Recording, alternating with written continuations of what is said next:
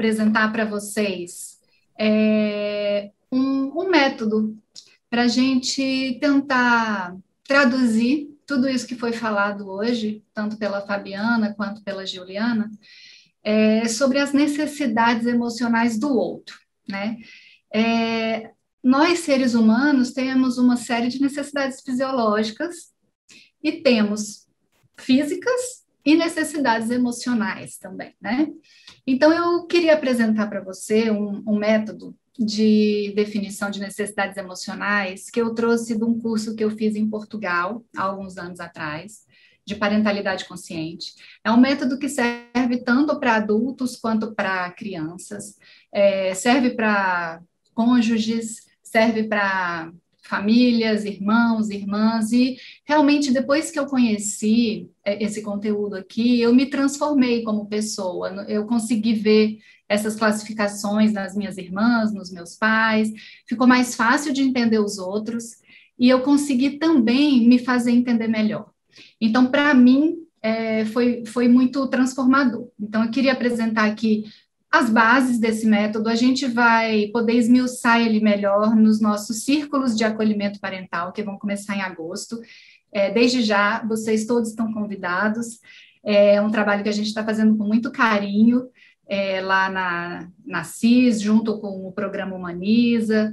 É, então, realmente, a gente vai poder falar um pouco melhor, um pouco mais sobre o método laser na, nos círculos de acolhimento, tá?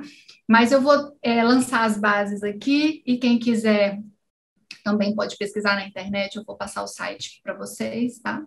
Bom, é, esse método, ele é um filtro de entendimento sobre as necessidades emocionais humanas, né? O slide desconfigurou aqui um pouquinho, mas a partir da compreensão do que, que o outro precisa emocionalmente, a gente pode escolher o nosso comportamento como adulto, né? O que vai nos trazer saúde mental e emocional e mais sustentabilidade para os nossos relacionamentos.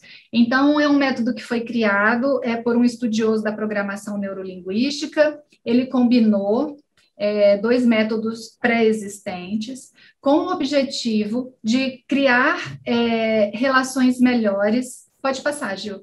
É, de criar relações humanas saudáveis né, e prósperas, em sintonia com a intenção do igual valor. A Gil falou do igual valor lá quando ela começou a falar de parentalidade consciente. E o igual, o igual valor é a base para esse método aqui. O que, que essa teoria fala? É, o igual valor é diferente de igualdade. O igual valor coloca todos os membros da família lado a lado, com o mesmo valor e a mesma importância. É diferente de igualdade, porque se a gente pegar uma criança de 3 anos e um adulto de 33, eles não vão ter igualdade de direitos. Um vai poder dormir meia-noite, mas o que tem três anos precisa dormir nove horas da noite, porque ele precisa de uma X quantidade de horas de sono para se desenvolver. Então, é, esse método nos mostra muito sobre nós mesmos e sobre o outro. É um método divertido, é um método que acaba sendo usado fora dos contextos profissionais. No meu caso, eu comecei a aplicar muito porque para atender criança e atender criança numa cadeira odontológica, a gente precisa estar muito conectado com essa criança, senão a criança não confia no profissional. Vocês imaginam que para deixar uma criança numa cadeira sozinha, distante dois metros ou um metro e meio da sua mãe, abrir a boca, deixar um profissional mexer dentro da boca dela, ela precisa confiar nesse profissional. E eu comecei a me perguntar é, por que, que algumas crianças se conectavam comigo e outras não, né? Então, isso me mostrou muito sobre os meus pacientes e depois eu consegui aplicar também com as minhas filhas, então foi muito interessante para mim. Olha só, é, esse método é, classifica as necessidades humanas em quatro cores. Todos os seres humanos possuem todas as necessidades, mas cada cor é, se sobressai é, em alguns seres humanos, né? Então, por exemplo, as pessoas de energia vermelha são pessoas que têm mais necessidade de reconhecimento. Pessoas de energia azul, mais necessidade de conhecimento cognitivo e controle das situações. Pessoas de energia verde, necessidade de conexão com os outros e de pertencimento a um grupo pessoas de energia laranja necessidade de experiência e novidade. Então, a partir das necessidades da pessoa, ela escolhe a estratégia comportamental que ela vai usar, né? Então, só para vocês terem uma ideia, se vocês quiserem ir pensando nos filhos de vocês, em adultos que vocês conhecem, fiquem à vontade. Ó, a pessoa de energia vermelha precisa ser reconhecida. Então, ela é uma pessoa determinada, autocentrada, competitiva, é uma pessoa do sim ou não, não tem meio termo, estabelece limites nas suas relações, não se preocupa muito com os outros, pode ser rotulada de uma pessoa curta e grossa, mas é porque ela tem realmente uma necessidade de ser líder, de liderar os ambientes. Na criança, essa energia se manifesta com liderança, organização de brincadeiras, persistência, a criança quer sempre ganhar, é uma criança confiante, é uma criança forte e pode ser rotulada de exigente, mandona, rude ou agressiva. É, a pessoa de energia comportamental azul precisa de controle, precisa de estar no controle da situação para se sentir seguro. Então, normalmente, é uma um adulto organizado, que gosta de rotina, gosta de estudar, adora uma planilha de Excel, quer sempre planejar as coisas, não faz nada de improviso, pessoa detalhista e que evita a incerteza. As crianças de energia azul são crianças organizadas, às vezes separam os carrinhos por cores, os brinquedinhos, os bloquinhos de madeira por cores, crianças minuciosas, intelectuais, fazem muitas perguntas e podem ser rotuladas de tímidas ou críticas. As pessoas de energia verde é, precisam de muita conexão com os outros e o pertencimento a um grupo. Então, são pessoas muito empáticas, é, entendem sempre o outro lado, evita isolamento, quer sempre estar em grupo, é, tem bastante cuidado com a natureza, gosta de causas sociais, normalmente são chamadas de fofas é, essas pessoas, na criança, né, essas crianças de energia verde, normalmente são crianças meigas, super emocionais, gostam muito de abraço e de contato físico, muito pensadoras, gostam de dormir com alguém do lado, sempre emprestam seus brinquedos e podem ser rotuladas de crianças sensíveis demais. Próximo.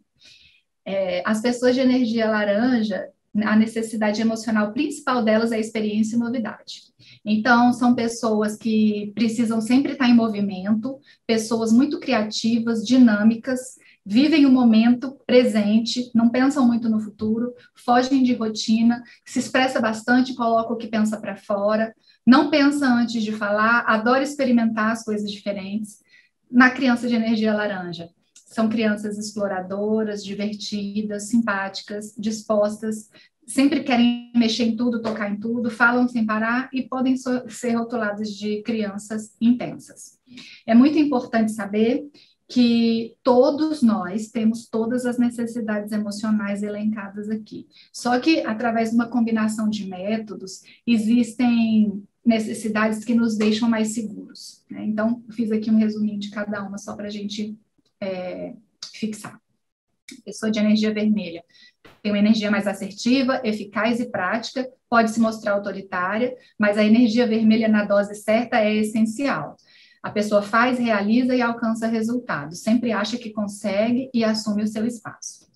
A estratégia comportamental azul é a energia do planejamento a longo prazo.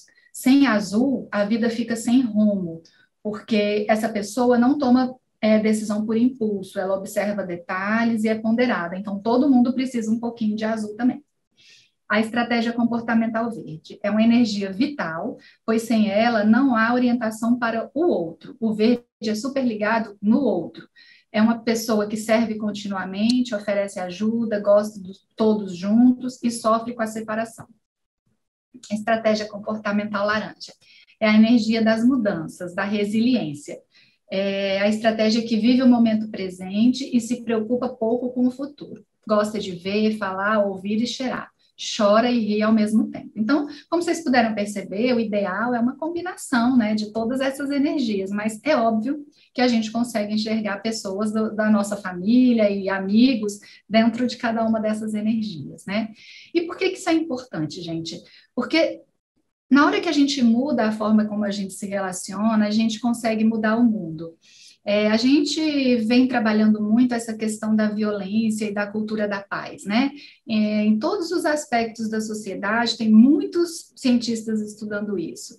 E quando a gente passa a olhar para quem está dentro da nossa casa, a partir das suas necessidades emocionais, e mostra para eles, principalmente quando é criança, né? O nosso amor incondicional, a autoestima dessa pessoa aumenta e ela passa a ter uma relação de colaboração com a gente. Então, independente de ser adulto ou criança, quando a pessoa é entendida, ela se torna menos violenta e a gente consegue se fazer entender melhor também. Então, eu acho que isso foi transformador para mim, porque eu entendi porque que uma criança chegava no meu consultório e era totalmente aberta curiosa com o que ia acontecer naquela sessão, e outra criança chegava completamente reticente e esperava, às vezes, 20, 30 minutos para conseguir se abrir. Então, eu, eu é, fui evoluindo depois que eu conheci esse método, amadureci bastante, e eu acho que eu passei a olhar para o outro com mais empatia e mais compaixão. Então, trazendo para a parentalidade consciente, a observação atenta dos comportamentos das crianças me dá insights sobre quais necessidades a criança está tentando satisfazer e facilita o exercício da parentalidade. É igual a Juliana falou, a gente precisa olhar para a criança, a gente precisa é, quebrar o ciclo de violência com o qual a gente foi criado, né, com aquele autoritarismo, e passar a olhar para a nossa criança com mais empatia, como um ser pronto. Né? Quando, quando eu ouço pessoas falando que as crianças são o futuro da nossa nação, eu tenho minhas críticas, porque a gente sabe, quando a gente estuda neurociência, que a criança ela é o presente da nossa nação, ela precisa ser enxergada de uma forma diferente.